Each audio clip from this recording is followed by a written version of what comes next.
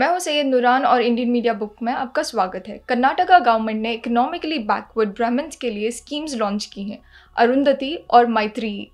Karnataka state Brahmin development board ने ये announce किया है कि ये जो दो स्कीम्स लॉन्च की गई, ये ब्राह्मण ब्राइड्स के लिए हैं। इन स्कीम्स के बेनिफिट्स कुछ इस तरह हैं। अरुंधति स्कीम में दुल्हन और दुल्हन के परिवार वालों को शादी के लिए पच्चीस हज़ार रुपये दिए जाएँगे और मैत्री स्कीम में बोर्ड ने दुल्हन को थ्री लाख रुपीज़ देने का कहा है, अगर वो किसी प्रीस से शादी करते हैं, यानी किसी अच्छकरा या पुरोहित से शादी करते हैं तो कहा जाता है कि इन दो स्कीम्स के बहुत सारी फैमिलीज़ को बेनिफिट्स मिलेंगे। अरुंधति स्कीम से 550 फैमिलीज़ को और मैत्री स्कीम से 25 फैमिलीज़ को। H H Sachidananda director of board ने कहा है कि हमने इस स्कीम को अवेल करने के लिए थोड़े से रिस्ट्रिक्शंस लगाए हैं। और वो रिस्ट्रिक्शंस क्या हैं? फैमिलीज़ को अपने इकोनॉमिकली बैकवर्ड होने का सर्टिफिकेट देना पड़ेगा? और उनको ब्राह्मण कम्युनिटी से ही बिलोंग करना पड़ेगा। उनको ब्राह्मण कम्युनिटी में ही शादी करनी पड़ेगी। ब्राइड एंड ग्रूम की ये पहली शादी होनी चाहिए और इनकी शादी को यूनियन में रजिस्टर्ड भी होना चाहिए। शादी को एटलीस्ट पाँच साल पूरे हो जाने चाहिए और इसको अपोज करते हुए Y B Shri Vatsa national campaign head of youth wing Congress ने कहा है कि सिर्फ़ एक तरह की शादियों को बेनिफिट देना ये बहुत ही बैकवर्ड सोच है। बोर्ड ने ऐसा कदम कभी ब्राह्मण एंटरप्रेन्योर्स को, यानी बिज़नेस वुमेंस को लोन देने के लिए नहीं किया, ना कभी ब्राह्मण लड़कियों को एजुकेशन के लिए फंड दी।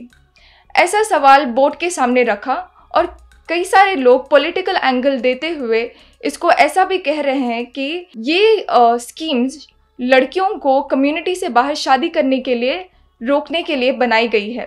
अगली खबर, जहाँ बर्ड फ्लू का इम्पैक्ट प्राइजेस में देखने को मिल रहा है, जहाँ कई सारी स्टेट्स में पोल्ट्री प्राइजेस गिर चुके हैं। बर्ड्स के अनयूजल डेथ की रिपोर्ट कई सारे राज्यों से मिली है। हमने आपके सामने पेश की थी, केरला, राजस्थान, मध्य प्रदेश और हिमाचल प्रदेश में ऐसे अनयूजल डेथ्स देखने को मिले। सेंट्रल ने वार्निंग दे दी है कि बर्ड फ्लू या एवियन इन्फ्लुएंजा का ब्रेकआउट हो चुका है। और मरे हुए बर्ड्स के सैंपल्स में एच वायरस को पाया गया। WHO का कहना है कि एच फाइव एन वन बहुत ही इन्फेक्शियस है बर्ड्स के लिए और उनके अंदर कई सारे रेस्पिरेटरी प्रॉब्लम्स आए हैं। सवाल उठता है कि क्या हम पोल्ट्री चीज़ें खा सकती हैं? जैसे चिकन एग या किसी भी तरह के वाइल्ड बर्ड्स डब्ल्यू का कहना है कि किसी भी तरह के पोल्ट्री प्रोडक्ट्स को खा सकते हैं अगर वो पूरी तरह से हाइजीनिक वे में प्रॉपरली कुक किया गया हो तो. किसी भी तरह का वायरस मर जाता है 70 डिग्री सेल्सियस के टेम्परेचर में तो it is safe if it is prepared in that temperature और जब हम बात करते हैं ह्यूमंस में इसके इन्फेक्शन को स्प्रेड होने के लिए तो इसका इन्फेक्शन ह्यूमंस में स्प्रेड होना इज़ अ क्वेश्चन अगली खबर, नमा मेट्रो से मिल रही है अपडेट मेट्रो में ट्रैवल करने वाले लोगों के लिए एक खुशखबरी, जहाँ इतने लंबे अरसे के बाद, इतने सारे डेडलाइंस को मिस करने के बाद finally B M R C L Bangalore metro rail corporation ने डेट फिक्स कर दी है कनकपुरा रोड मेट्रो एक्सटेंशन को स्टार्ट करने के लिए, जो एलिचनाहल्ली से अंजनापुरा तक जाएगी। 14 जनवरी को इसका इनाग्रेशन होगा और 15 जनवरी से लोग ट्रैवल कर पाएँगे।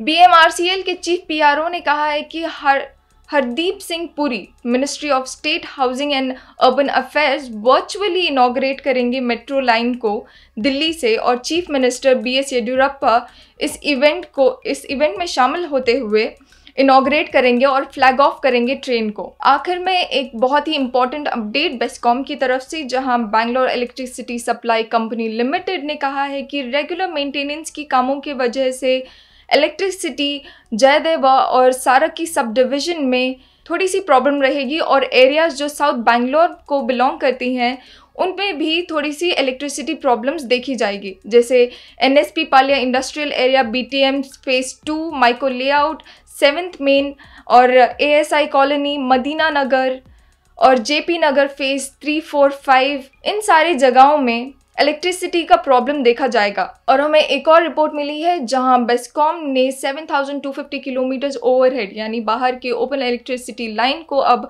अंडरग्राउंड सिस्टम बनाने का प्रोजेक्ट बनाया है, जिसमें 2393 किलोमीटर्स के 11 kilo volt high tension line भी बनाए जाएँगे सिक्स डिफरेंट एरियाज़ में, जो 1400 क्रोस का प्रोजेक्ट है। इस प्रोजेक्ट के अकॉर्डिंग वो छः areas Indira Nagar Jayanagar Shivaji Nagar Koramangala Whitefield Hosur road, Sarjapur division ये सारे एरियाज़ आएँगे और आने वाले दिनों में शायद इन सारे एरियाज़ में पावर सप्लाई की प्रॉब्लम देखी जाएगी। तो लेटेस्ट अपडेट के लिए आप बने रहिए इंडियन मीडिया बुक के साथ and thank you for watching